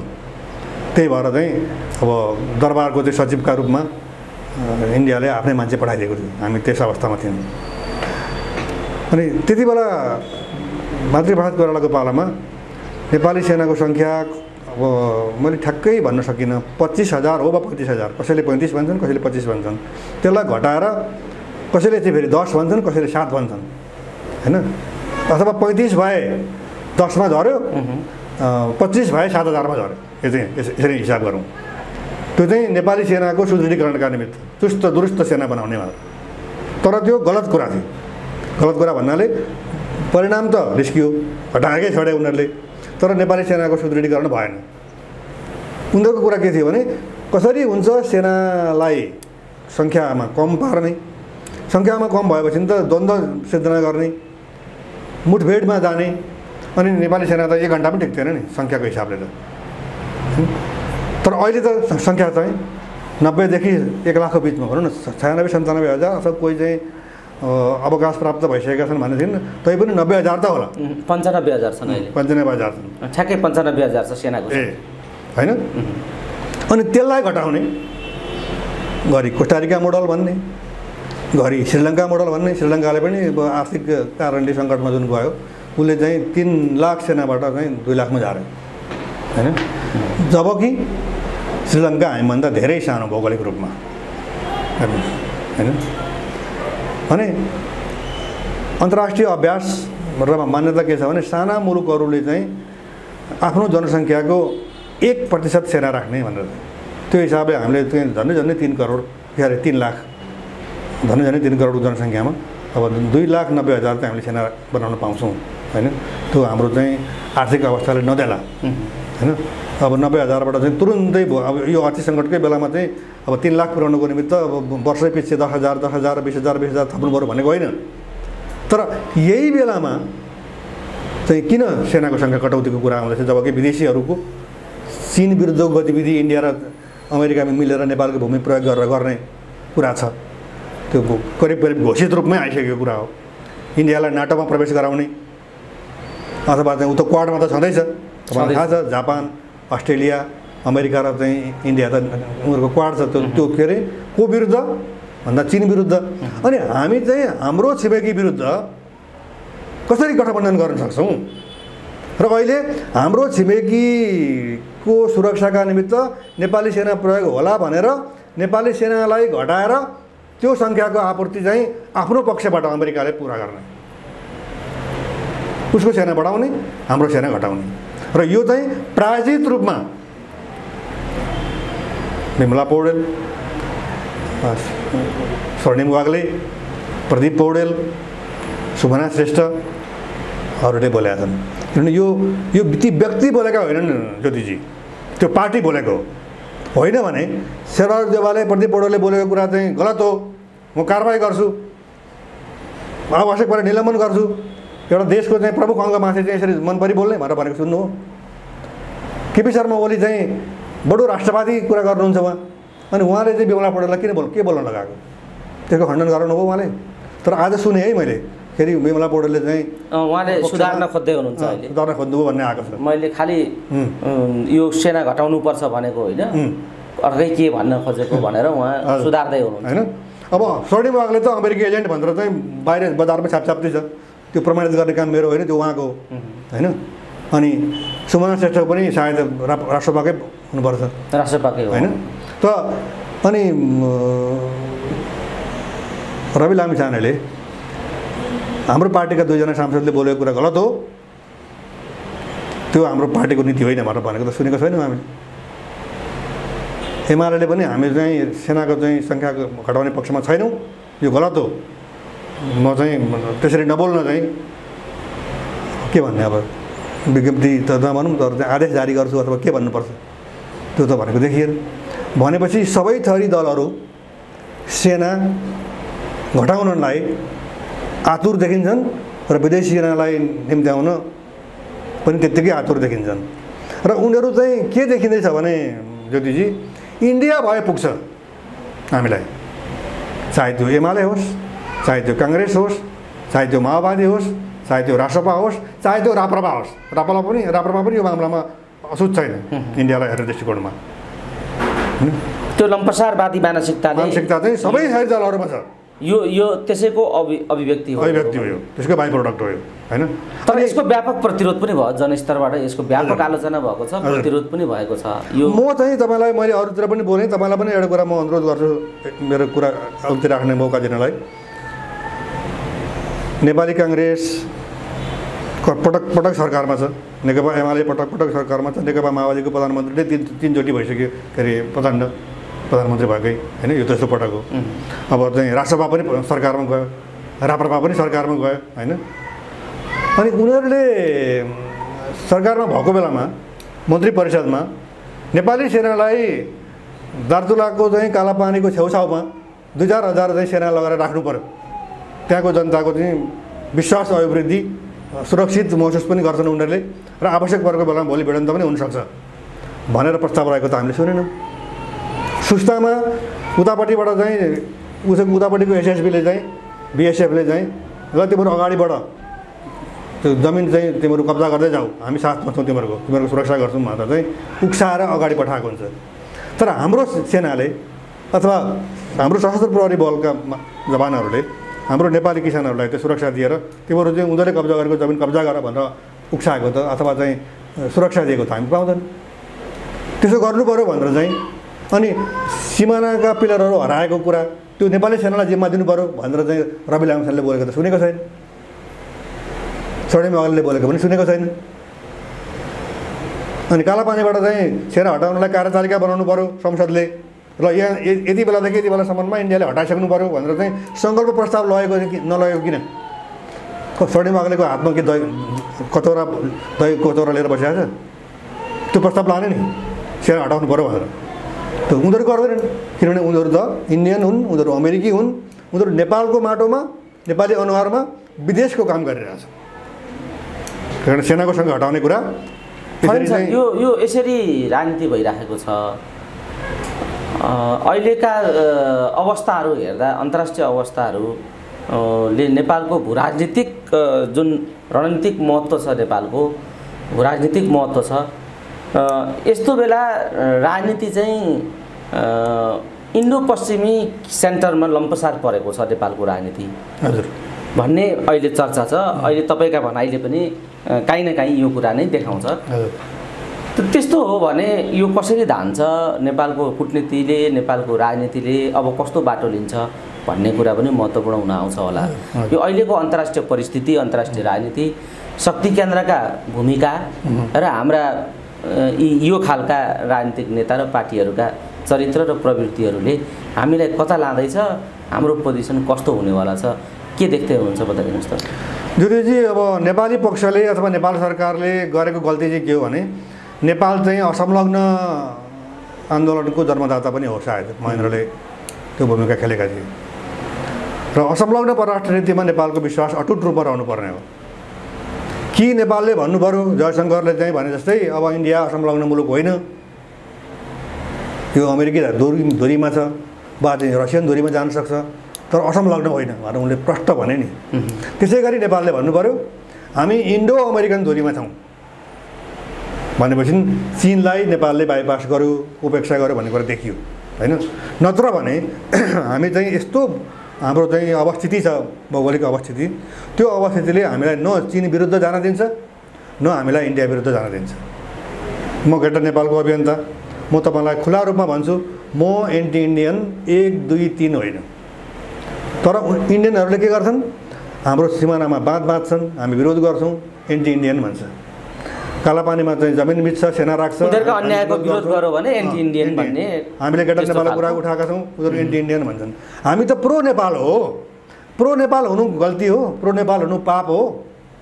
काश्मीरको विषयमा कसैले चाहिँ एउटा इन्डियन नागरिकले विरोधमा बोलोस् त उसले गोली खान्छ। अनि हामीले चाहिँ हाम्रो पक्षमा बोल्यो भनेदेखि चाहिँ यो इन्डियाले उगासेको यो पाकिस्तानले उगासेको ए हामीलाई राष्ट्रियताको पाठ चाहिँ चिनिया र पाकिस्तानले पाकिस्तानीले सिकाउनुपर्छ। हामी जन्मजात स्वतन्त्रता फहराउँदै आएको मान्छे हौँ। हामीलाई त्यो प्यारो छ। जसरी इन्डियालाई प्यारो छ त्यत्तिकै प्यारो छ हामीलाई हाम्रो चाहिँ उसलाई काश्मीर प्यारो छ भने हामीलाई पनि कालापानी प्यारो छ। उसलाई पूर्वोत्तर जमिनहरू चाहिँ त्यहाँ भएको स्वतन्त्रताको आन्दोलनले उसलाई बिजाइराखेको छ भने हामीलाई पनि उसले चाहिँ हाम्रो जमिन कब्जा गरेर चाहिँ हामीलाई फिर्ता नगरेको विषयमा हाम्रो गुनासो छ। त यसरी तपाईँले अहिले जुन कुरा भन्नुभयो कि नेपाल चाहिँ इन्डो पश्चिमी धुरीमा गयो। त्यो गएको देखियो। किनभने म त के भन्छु भने पचपन्न अरब रुपियाँ भनेको कति हो भन्नुहोस् एउटा मुलुकका लागि ज्योतिजी। के त्यो नेपाललाई नाटकीय रूपमा चाहिँ एकैचोटि स्विजरल्यान्ड बनाउने वा चाहिँ मलेसिया बनाउने अथवा सिङ्गापुर बनाउने खालको बजेट हो? एउटा व्यावसायिक कम्पनीले तिर्नुपर्ने कर जति हो त्यो। हजुर।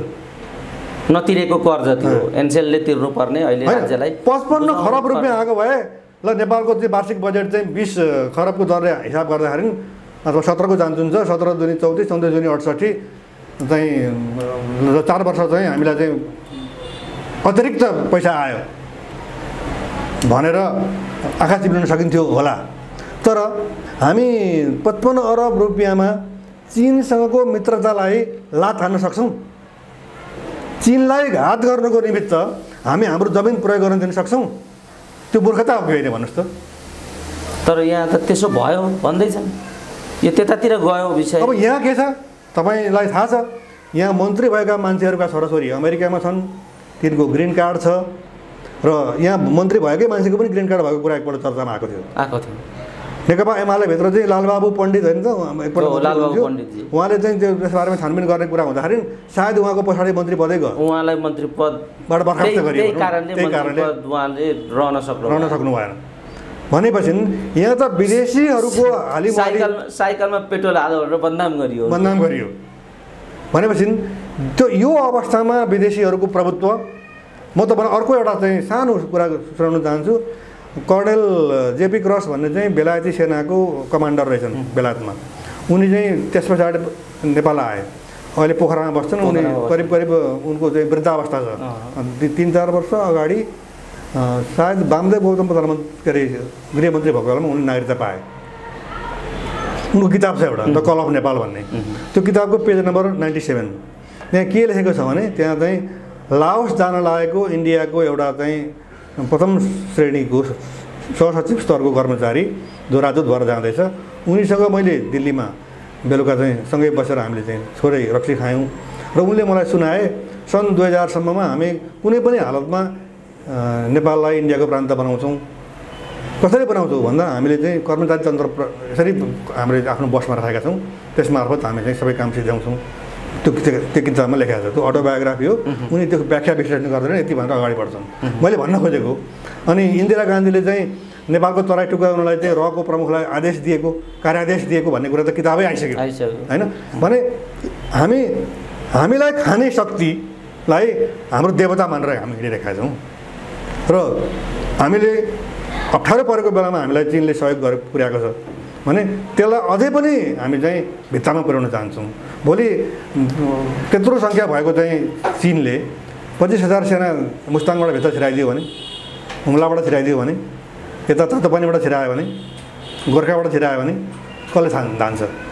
उसलाई सङ्कटबाट छिराइदिन्छ। उसलाई सिधाउने सिधाउने कुरा चाहिँ चिनलाई के निश्चित भयो? नेपालले मलाई सिधाउनुको निमित्त अमेरिका र इन्डियासँग मिलेर काम गर्दैछ भन्ने लाग्यो भने उसले नेपाल बचाउँछ किन? कसैले मलाई प्रश्न गरेर नि त चिनिया भएर बोलिस् भनेर। म नेपालको हितको लागि नेपालको चिन्ता लागेर बोलिरहेको छु। भोलि चिनलाई अप्ठ्यारोमा पार्ने गरी हामीले अगाडि गतिविधि गऱ्यौँ भने त्यो अप्ठ्यारो उसले किन सहन्छ के स्वार्थ छ? नेपालसँग त उसको व्यापार त केही पनि छैन। विगत चाहिँ दुई तिन वर्ष त एक किसिमको नाकाबन्दी नै थियो चिनिया पक्षबाट पनि कोभिडको नाममा। हाम्रा व्यापारीले चाहिँ आत्महत्या गरे होइन? त्यो पक्ष चाहिँ नाकाबन्दीको हिसाबमा बाहिर समाचार आएन। तर के भने नाकाबन्दी भन्दा पनि कडा किसिमको चाहिँ। नाकाबन्दी भयो। नाकाबन्दी भयो होइन? भने हामीले त्यसलाई चाहिँ छुटाउनुको निमित्त सहजीकरण गर्नुको निमित्त कति कतिवटा प्रतिनिधिमण्डल त हामीले चिन पठायौँ। किन हामी त चुप लाएर बस्यौँ ओ इन्डियाले चाहिँ धन्यवाद दिन्छ। चिनबाट सामान किन ल्याउने? चिनबाट ल्याउने सामान पनि इन्डियाबाट ल्याउने। हामीलाई एकपटक चाहिँ हेर्नुहोस् म तपाईँलाई तपाईँले पनि सम्झिनु भएको छ। यो जनआस्थामा छापिएको समाचार हो त्यति बेला। बहत्तर सालमा जब चाहिँ भूकम्प आयो भूकम्प पछाडि विभिन्न दात्री निकायहरूले चाहिँ कसैले हेलिकप्टर लिएर आएका थिए कोही प्लेनै लिएर आएका थिए। इन्डियाले चाहिँ आफ्ना प्लेन राखेर चाहिँ हेलिकप्टर सैनिक हेलिकप्टर राखेर अरूको देशको चाहिँ कुनै प्लेन पनि ब- बस्न नसक्ने बनाइदियो होइन? अनि बेलायतले रिक्वेस्ट गर्यो। नेपालले चाहिँ त्यो रिक्वेस्ट लगाएन बेलायतको यहाँ एम्बेसीको एउटा प्रतिनिधिले अधिकृतले के भन्यो भने तिमीहरूलाई इन्डिया भइपुग्छ हामी चाहिँदैन भनेर सो सोधेको छ कि। त्यो मलाई अहिले पनि याद छ। अनि हामीलाई इन्डिया भइपुग्ने हो भने के हाम्रा सर हाम्रो सरकारले हाम्रा राजनीतिक दलहरूले इन्डियाको एउटा प्रान्त बनाउने अभ्यास गर्न खोजेको हो। अथवा चिनलाई चिनको कोप भाजन रिसको भाँडो बनेर रिसको पात्र बनेर चाहिँ हामीलाई चाहिँ चिनिया सेनाको आतङ्कभित्र बुटभित्र दबाउन खोजेको यो के गर्न खोजेको? यो नेपाली जनताले सोध्नुपर्ने विषय भइसकेको छ। समग्रमा नि फरेन सर मैले खालि त्यो प्रसङ्ग तपाईँ ल्याउँदै हुनुहुन्थ्यो। यो अन्तर्राष्ट्रिय परिस्थिति अहिलेको अन्तर्राष्ट्रिय परिस्थिति तपाईँले भनिहाल्नुभयो भारतप्रति अमेरिकाप्रतिको लम्पसार प्र गर्ने प्रवृत्तिले एउटा जोखिम निम्त्याउँदैछ। चिनिया असुरक्षा चिनको असुरक्षाका निम्ति नेपाली भूमि प्रयोग हुने स्थिति आयो भने त्यो एउटा सङ्कट उत्पन्न हुने स्थिति छ भन्ने तपाईँले बताउनुभयो। हजुर। प्लस अरू अहिले जुन रुस युक्रेन युद्ध छ हजुर। यो यति लामो जान्छ भन्ने मान्छेहरूको कल्पना थिएन। यो छिट्टै सकिन्छ। र यसले एउटा किनारा लिन्छ किनभने युक्रेनको अभिगत त्यही हो रुस शक्तिशाली छ उसले ठिक लगाउँछ भन्ने खालको बुझाइ मनोविज्ञान साधारण मान्छेहरूमा यो मनोविज्ञान थियो। तर यति लामो भयो कि त्यो आजसम्म पनि लगभग पाँच सय दिन कटिसक्दाखेरि पनि त्यहाँको युद्ध चाहिँ जारी छ। हजुर। त्यो युद्धले तेस्रो विश्वयुद्धको सङ्केत गरिराखेको छ भन्ने मान्छेहरू तर्क पनि गरिराखेका छन्। बताउनुहोस् त यो त्यो युद्ध कता जाँदैछ र त्यो युद्धमा नेपाल कसरी गिजोलिएको छ भन्ने कुरा नेपाल गिजोलियो भन्ने कुरा पनि उठिरहेको रुसी राष्ट्रपतिले चाहिँ म रुसी महासङ्घ नै बनाउँछु पहिलेकै जस्तो भन्ने चाहिँ घोषणा पनि गरे एकपल्ट मलाई याद छ। त्यस पछाडि उनले चाहिँ क्रिमिया लिए होइन? यद्यपि क्राइमिया चाहिँ फेरि के रहेछ भने पहिले चाहिँ रुसी महासङ्घकै भाग रहेछ। त्यो जोग्राफिकल्ली युक्रेनमा राख्दाखेरि चाहिँ प्रशासन गर्न सजिलो हुनाले त्यतापट्टि राखेको रहेछ। नब्बेमा चाहिँ जब त्यो विखण्डन भयो सोभियत सङ्घ त्यति बेलै त्यो रुसले चाहिँ लिएको भए अब त्यो हाम्रो पहिले थियो हामीले लियौँ भन्ने कुरा तत्काल हुन्थ्यो। तर लामो समयसम्म चाहिँ युक्रेनमा रहेर अनि त्यसलाई पछि चाहिँ रुसले लिँदाखेरि चाहिँ अब अमेरिकी नेतृत्व अथवा त्यो नाटो उनीहरूले चाहिँ अब युक्रेनको भूभाग चाहिँ लिएको भन्ने अर्थतिर लगे होइन? हामीले त्यतापट्टि पनि ध्यान दिनुपर्छ। र अहिले तपाईँले जुन कुरा उठाउनु भयो अब रुसी पक्ष र युक्रेनी पक्षका बिचमा भएको युद्ध छिटै सकिएला रुस जस्तो महाशक्ति राष्ट्र जोसँग चाहिँ अमेरिका डराउँछ भने त्यहाँ युक्रेन कति दिन थामिएर भन्ने थियो तर कुरा के हो भने युक्रेनलाई नाटोको सहायता दिने कुरा गरियो आफ्नो सुरक्षा चाहिँ रुसबाट नहोला भन्ने ठानेर युक्रेन गइसकेको हुनाले के अरे युक्रेन अरे क्राइमिया चाहिँ लिइसकेको हुनाले अरू भूभाग पनि माथि पनि उसले चाहिँ कब्जा जमाउला भन्ने हिसाबले अब युक्रेन चाहिँ नाटोमा जान खोज्यो नाटो भनेको रुसको प्रतिस्पर्धी हो होइन अब त्यही कारणले शीत युद्धकालमा जस्तो चाहिँ अब सैनिक गठबन्धन अहिले रुसको छैन होइन? अनि अब तर नाटो त छ। भने त्यो युद्ध चाहिँ जेलेन्स्की चाहिँ अगाडि फ्रन्टमा देखिएको मात्रै। तर लडाइँ चाहिँ रुस भर्सेस नाटो भयो। किनभने अब खुला रूपमा नै त्यसमा युक्रेनको समर्थन गरिसकेपछि अब नेपाल चाहिँ त्यसमा मुछियो। यो युद्धमा काहीँ न काहीँ नेपाल एउटा अंशियार जस्तो बनेको छ भन्ने कोणबाट पनि अहिले यसको आलोचना भएको छ। नेपालले किन आफ्नो तटस्थता गुमायो भन्ने कुरा छ भने। कुरा छ भने अर्को कुरा के छ भने पटक पटक रुसले नेपालको समृद्धिका निम्ति अनेकौँ प्रोजेक्टहरू गर्नलाई प्रस्ताव गरेको। हजुर। तर यहाँबाट कुनै उत्तर नदिएको घटना पनि यही बेला आएको छ। भनेपछि तपाईँले बडो गम्भीर प्रश्न उठाउनु भयो ज्योतिजी। जुन विषयमा इन्डिया मौन बस्छ तटस्थ बस्छ त्यहाँ नेपाल बोल्नुपर्ने कारण के? नेपालको त्यो हैसियत छ अन्तर्राष्ट्रिय हैसियत? रुसको विरुद्धमा अमेरिकी समर्थन अमेरिकालाई समर्थन गर्दै रुसलाई चिडाउनु पर्ने कारण के छ? के त्यही पचपन्न अरब रुपियाँ? त्यही एमसिसी अथवा आफ्ना छोराछोरीहरू अमेरिकामा चाहिँ आरामसँग बसुन् भन्ने भोलि गएर चाहिँ देश छोडेर भाग्दाखेरि त्यहाँ पुगेर बस्न पाइयोस् भनेर नत्र त हाम्रो चाहिँ अन्तर्राष्ट्रिय मुद्दाहरूमा हामीले जब कुनै मुलुकलाई अप्ठ्यारोमा पार्ने कुरा आउँछ भने हामी चुपचाप बस्ने त्यहाँ उपस्थितै नहुने।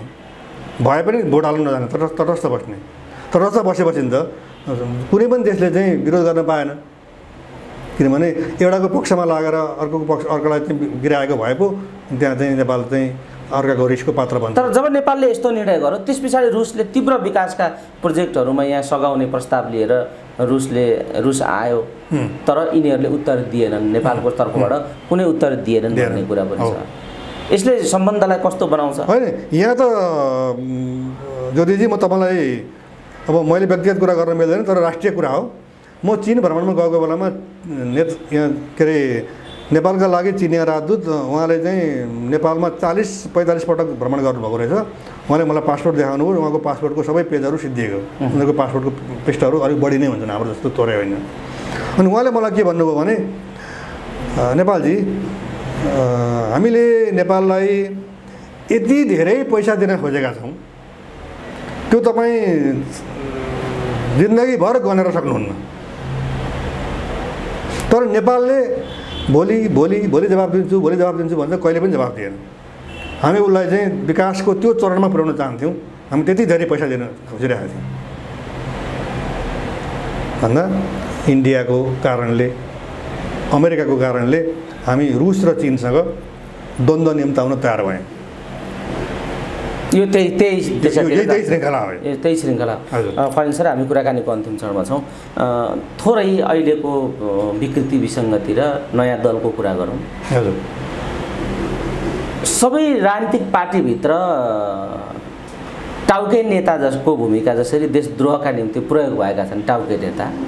सबै नेताहरू पार्टीभित्र कार्यकर्ताहरू त्यो स्तरका छन् भन्ने कुरा मान्न सकिँदैन। त्यहाँभित्र असल देशभक्त र राष्ट्रप्रति जिम्मेवार नेता कार्यकर्ता पनि होलान्। उनीहरूले यो पार्टीमा हस्तक्षेप गर्ने स्थिति कस्तो छ? पार्टीभित्रको स्थिति एउटा। अर्को कुरा यी काम दिँदैनन् यिनले गरी खाँदैनन्। यो देश बन्दैन यिनीहरूबाट। विकल्प हामी हौँ भनेर आउने नयाँको प्रस्तुति पनि हामीले देख्यौँ। यिनीहरूको आगामी स्थिति कस्तो छ? तपाईँ यी दुईवटा कुरा बताइदिनुहोस् त। दलहरूभित्रका राष्ट्रवादी नेता कार्यकर्ताले दलको एउटा देशद्रोही पङ्क्तिलाई निस्तेज गरेर अगाडि जाने अर्को धार पैदा हुने स्थिति कति बलियो छ? र नयाँ यी भएनन् समग्रमा अर्को स्थिति आउनुपर्छ भनेर नारा लाएर आएकाहरूको अभिगत भोलि क- होला? यो यी दुईवटा कुरालाई तपाईँ कसरी हेर्नुहुन्छ? ज्योतिजी अब दुईवटा पार्टी अब मञ्चमा छन्। एउटा चाहिँ बिल्कुलै नयाँ राष्ट्रपा अर्को चाहिँ पुरानै तर चाहिँ अब नयाँ नेतृत्वमा राजेन्द्र लिङ्गदेनको राप्रपा अब त्यसको चाहिँ प्रतिस्पर्धीमा राप्रपा नेपाल कमल थापा अहिले पनि हुनुहुन्छ नै। धेरै मानिसहरूको अपेक्षा राजेन्द्र लिङ्गदेनप्रति थियो। उहाँले पनि स्थानीय निर्वाचनमा चाहिँ उहाँ भर्खरै अध्यक्ष भएर आउनुभएको हुनाले समय पाउनु भएन। त्यस कारणले कम भयो। विजय गर्ने गरिएका ठाउँहरू कम भए।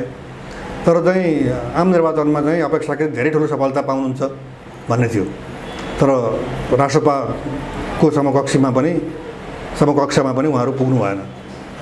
अनि त्यही कारण उहाँलाई ठुलो आकर्षणको पात्र मानेको मान्दा मान्दै पनि त्यो चाहिँ अब त्यस रूपमा नपुगेको देखियो। र अर्को शक्ति भनेको राष्ट्रपा। राष्ट्रपा एक त उसको सिद्धान्त छैन। राप्रपा त कमसेकम संवैधानिक राजतन्त्र हुनुपर्छ राजा पुनर्स्थापित गर- गर्नुपर्छ भन्ने त छ क्लियर कट कुरा छ उसको। आफूले राष्ट्रवादी भन्छ। राष्ट्रवादी भन्छ। काम जे जे गरे पनि आफूले राष्ट्रवादी पनि। भन्छन्। हजुर। तर राष्ट्रपाले त आफ्नो चाहिँ उसको आर्थिक नीति के उसको राजनीतिक सिद्धान्त के ऊ दक्षिणपन्थी कि अब चाहिँ नरमपन्थी अथवा चाहिँ उग्रपन्थी अथवा चाहिँ चिनपट्टि ढल्किने कि इन्डियापट्टि अथवा चाहिँ अमेरिकापट्टि यद्यपि अमेरिकापट्टि भन्ने कुरा त जग्गा जाहेरै छ। अझ नेतृत्व पनि अब म नेतृत्वका लागि काम गरिरहेको छु भनेर स्वर्णिमले बोलि नि सके बोलिसके राष्ट्रसभाको आगामी नेतृत्वका लागि म पहल कदमी लिनलाई काम गरिरहेको छु भनेर उनले सार्वजनिक अभिव्यक्ति किनभने एकदमै युवा अपेक्षाकृत अरूभन्दा चाहिँ युवा नै हो नि त रवि रवि लामी छाने होइन? अब उनलाई किनारा लाउने। उसको नेतृत्वलाई अमान्य मानेर चाहिँ स्वर्णिम वागले आएको देखिएपछि अब त्यहाँ चाहिँ राष्ट्रपाले र के अरे चाहिँ रवि लामी छानेले ल ठिकै छ त। डक्टरेट गरेको मान्छे स्वर्णिम वाग्लेजी म छोडिदिन्छु भन्ने कुरा म विश्वास गर्दिनँ। त्यहाँ विभाजन निश्चित छ। अनि नेतृत्वमा विभाजन के अरे चाहिँ रसाकसी हुनु द्वन्द्व हुनु भनेको चाहिँ सत्ता स्वार्थमा लिप्त हुनु हो। हामी चाहिँ चा पाँच वर्ष चाहिँ सङ्गठन विस्तारमा जाने। त्यसको मतलब यो नयाँ कुरा केही अपेक्षा गर्न सकिने स्थिति देखिएन तपाईँको समग्र निष्कर्ष यो अब अलिकति यी दलहरूभित्रको पोजिसन मैले भने नि। दलहरूभित्र सबै मान्छे देशद्रोही छन्। ने राष्ट्रको अहित चिताउँछन् उनीहरू गैर जिम्मेवार ढङ्गले प्रस्तुत हुन्छन् भन्ने कुरा छैन छैन। ठुलो पङ्क्ति देशभक्ति। देशभक्तहरूको पङ्क्ति छ हरेक राजनीतिक पार्टीमा हरेक समाजमा हरेक बिन्दुमा तर के भने दुर्भाग्यवश? नेतृत्वकारी पक्षमा नेतृत्वको तहमा छैन त्यो त्यो हस्तक्षेप गर्न सक्छ कि सक्दैन मैले त्यो सोधिरहेको छु तपाईँलाई त्यो साहसको कुरा हो हेर्नुहोस् तपाईँले त्यो हेर्नुहोस् अब नेपाली काङ्ग्रेसमा गगन थापाले नेतृत्व परिवर्तन हुनुपर्छ संसदीय दलको नेता नै परिवर्तन हुनुपर्छ भन्ने कुरा बारम्बार उठाएको पाइन्छ। त्यो डेमोक्रेटिक पार्टी हो कमसेकम त्यो चाहिँ हुँदो रहेछ उनीहरूकोमा अभ्यास रहेछ भन्ने कुरा देखियो। तर केपी ओली विरुद्धमा को बोल्छ? प्रचण्ड विरुद्धमा को बोल्छ त्यो त देखिँदैन। सम्भवै छैन। बोल्ने सिद्धिएका छन् बोल्ने सिद्धिएका छन्। त्यस कारणले आफ्नो भइराखेको पद प्रतिष्ठा आफ्नो चाहिँ अध्यक्ष अथवा सभापति विरुद्ध बोलेर गुमाउन कोही पनि जाँदैन। किनभने त्यसरी गुमाउँदाखेरि चाहिँ आफ्नो जनाधार कति छ त्यो पनि हेर्नु पऱ्यो होला। भोलि चाहिँ केपिओली विरुद्ध बोल्नेले ऊभन्दा पनि सशक्त भएर आउन सक्छु। जस्तो चाहिँ हामीले भीम रावल देख्यौँ नि। उसले त त्यत्रो ठुलो चाहिँ सङ्घर्ष अथवा चाहिँ बलिदान गरेर चाहिँ म अगाडि बढ्छु भन्न खोजेको देखिएन। होइन? अब हाम्रो अर्को हुनुहुन्छ नि घनश्याम उहाँ समाजवादीमा प्रवेश गर्नुभयो होइन? अनि त्यस कारणले तपाईँले भन्नुभयो जस्तै काङ्ग्रेस पार्टीमा एउटा कुरा अब त्यो बरु के भने राष्ट्रसभामै देखियो। नेतृत्व परिवर्तनका निमित्त चाहिँ खुला अहिले नै खुला रूपमा बोलेको पनि देखियो। राप्रपा पनि त्यो कुरा आउन सक्छ किनभने हामीले बेला बेलामा सुनेका छौँ त्यहाँ चाहिँ के अरे रविन्द्र मिश्र र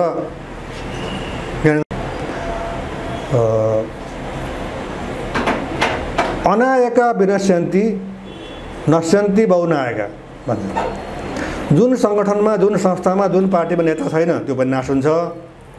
जुन पार्टीमा धेरै नेता छन् बहुनायक त्यो पनि नाश हुन्छ भनेको छ किनभने एक्लै अर्कोलाई मान्दैन।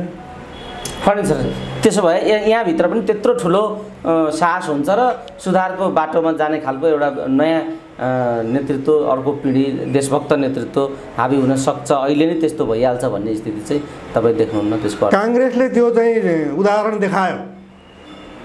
शेरबहादुर देवालले छाड्नु पऱ्यो गगन थापा अब माथि आउनु आउनु पऱ्यो त्यो स्थिति देखियो परिवर्तन भयो अहिले नै। केन्द्र समितिको बैठक कति दिन गयो त्यो चाहिँ मलाई जानकारी भएन होइन? सुरु त भइसकेको छ। अनि त्यो तहमा पुग्यो। नेतृत्व परिवर्तन भयो भने त काङ्ग्रेसमा नेतृत्व परिवर्तन भयो भने सरकारै परिवर्तन हुन्छ हेर्नुहोस् फेरि। त्यसले अर्को रूप लिन्छ। सम्भावनाहरू चाहिँ छन्। सम्भावनाहरू छन्। तर काङ्ग्रेसले त्यो चरित्र देखायो भने अरू अरू पार्टीले पनि त्यसलाई चाहिँ अब आएका गगनहरू नै के गर्छन् भोलि भन्ने फेरि बाँकी छ। त्यो त बाँकी। अर्को अर्को पालो त्यसको सोचनीय अर्को तर के भने। हामी जुन जुन उयो एउटा भनाइ छ नि ज्योतिजी मन परेको केटो जेठाजु पऱ्यो भनेर एउटा केटीले भन्थ्यो अरे कि। आफूले मन पराएको अब चाहिँ बिहे हुनु पर्ने भाइसँग चाहिँ भइदियो। भने जस्तै हामीले जुन जुन नेतालाई चाहिँ मन पराएका छौँ जुन जुनबाट आशा गरेका छौँ हामीले निराशा मात्रै पाएका छौँ। सबै जेठाजु नै परेका सबै जेठाजु परे। फरेन सर हामी कुराकानीको अन्तिम चरणमा छौँ। जाँदा जाँदै हजुर। नेपालको अन्तर्राष्ट्रिय विमानस्थल अर्थात् नेपाल चाहिँ अहिले उपत्यका राजधानी काठमाडौँ चाहिँ तस्करहरूको राजधानी जस्तो भएको छ। हजुर। सामाजिक सञ्जालमा चाहिँ अहिले के भन्न थाले मान्छेहरू भने यो अन्तर्राष्ट्रिय विमानस्थल होइन अन्तर्राष्ट्रिय सुन तस्करी स्थल भनेर नामै परिवर्तन गरौँ भन्नेसम्मका व्यङ्ग्यहरू पनि सोसियल मिडियाहरूमा हामी देख्न थालेका छौँ। यो स्तरमा बदनाम भएको छ अहिले। र तस्करीको केन्द्र चाहिँ अन्तर्राष्ट्रिय विमानस्थल र काठमाडौँ हो भने जस्तो व्यापक सन्देश गइराखेको छ यो यो तस्करीको जालो। ले देशको जसरी बेइज्जत भइराखेको छ यसमा गृहमन्त्री नै जोडिएका छन् भन्ने अहिले आलोचना भइराखेको छ। त्यसरी प्रश्न उठेको छ। यहाँ यो यो सुन चाहिँ गृहमन्त्रीको हो समाउने चाहिँ अर्थमन्त्री हुन् भन्नेसम्मको हामीले समाचारहरू टिका टिप्पणी सांसदका अभिव्यक्ति राष्ट्रिय सभाबाट सुन्न पायौँ।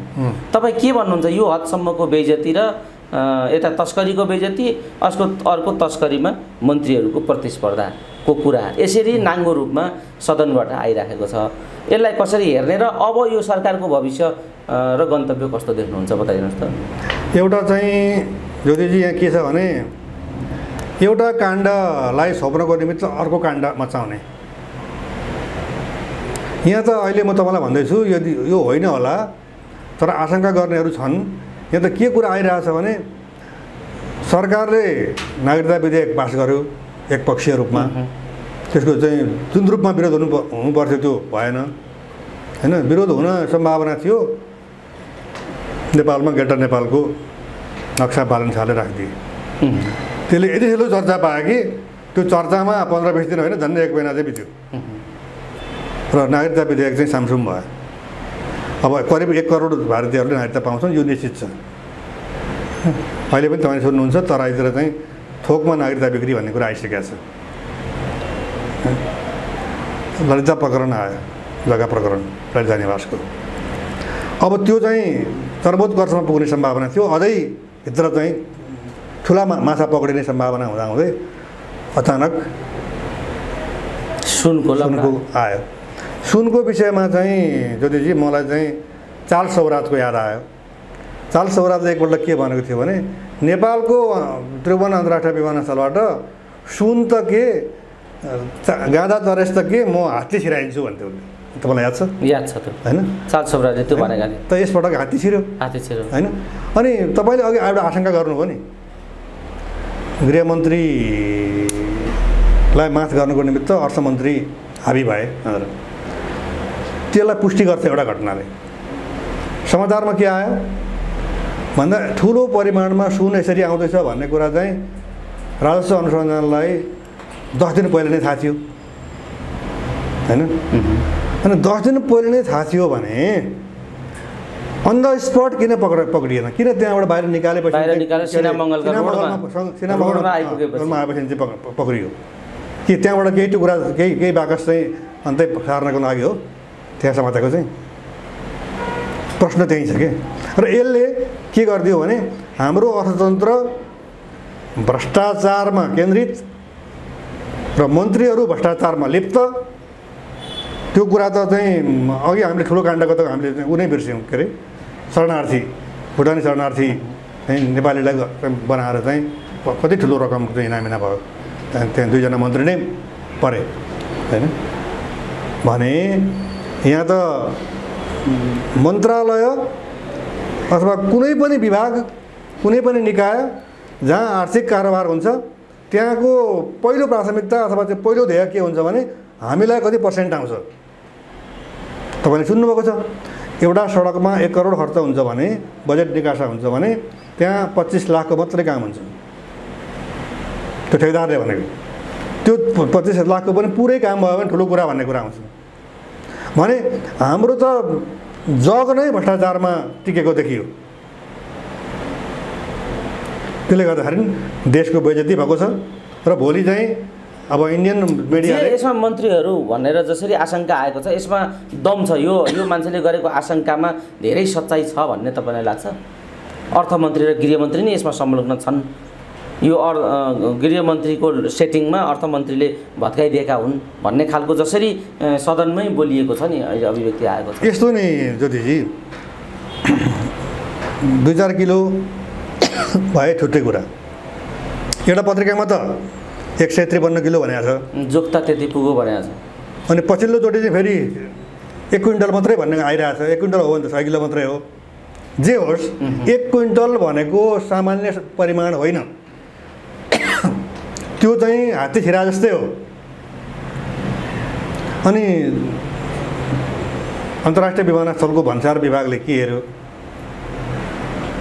दुवै फेरि भन्सार प्रमुख र प्रहरी त्यहाँको सुरक्षा प्रमुख दुइटै विधामा बसेका छन् त्यही दिन फेरि। जुन दिन यो घटना हुँदैछ त्यही दिन दुवैजना अधिकारीहरू विधामा बसेको भनेपछि सेटिङमा छ कुरा। भनेपछि यहाँ चाहिँ हुन त विश्वमा भौतिकवादी जमानामा पैसा ठुलो कुरा हो। तर नेपालमा चाहिँ पैसा नै ठुलो कुरा हो भन्ने कुरा देखियो कि? फर्निचर जाँदै जाँदै यी जे परिदृश्य र स्थितिहरूबारे हामीले केन्द्रित रहेर कुरा गऱ्यौँ। आम दर्शक श्रोताहरूलाई के भन्न चाहनुहुन्छ? अब अन्तिममा हामीले भ्रष्टाचारको बारेमा कुरा गऱ्यौँ। नेपालको भ्रष्टाचार चाहिँ आधारभूत अथवा जगदेखि नै भ्रष्टाचारमा लिप्त भएको देखियो। र यो एक किसिमले भन्नुहुन्छ भने यो स्वास्थ्य प्रणालीको भाषामा भन्दा यो मान्छेको शरीरमा ब्लड क्यान्सर भयो भने त्यो उसको शरीरमा भएको एक लिटर एक पोका दुई पोका एक पिन्ट दुई पिन्ट भन्छ नि त्यो चाहिँ निकालेर सुधार हुँदैन। एक पिन्ट निकाल्यो अर्को अर्कोको चाहिँ सफा ब्लड हालिदियो भने त्यो पनि फेरि दूषितै हुन्छ। तर यदि त्यसलाई बचाउने हो भने पुरै रगत चाहिँ शरीरमा शून्य पारेर अनि नयाँ रगत हाल्नु पऱ्यो भने जस्तै। अब त्यो भ्रष्टाचार मुक्त नेपाल बनाउनको निमित्त त्यो प्रयास हुनु पऱ्यो तर त्यो प्रयासका निमित्त कसले प्रयास गर्ने किनभने जसले प्रयास गर्छ भनेको ऊ नै भ्रष्टाचारी रहेछ भन्ने कुरा देखिसकियो। त्यसले गर्दा हामी एउटा चाहिँ भयावह अवस्थामा छौँ। अब चाहिँ मलाई के लाग्यो भने एकपल्ट पूर्वी जर्मनीको मान्छे आएको अरे नेपालमा। डेढ महिना बस्यो अरे अनि ऊ चाहिँ अब कम्युनिस्ट कन्ट्रीबाट आएको त्यो बेलामा। अनि अब नास्तिक मान्छे नेपालको शासन प्रशासन चलेको देखेर अन्तिममा ऊ चाहिँ गेरु वस्त्र लगाएर फर्कियो अरे अनि ईश्वर रहेछन् भनेर मान्यो अरे क्या उसले। नेपाल चाहिँ ईश्वरले चलाएको मुलुक रहेछ मान्छेले चलाएको होइन भन्छ अरे। भने जस्तै अब नेपाललाई बचाउने भनेको खालि आछ अरूले बचाउन सक्ने सम्भावना देखिएन।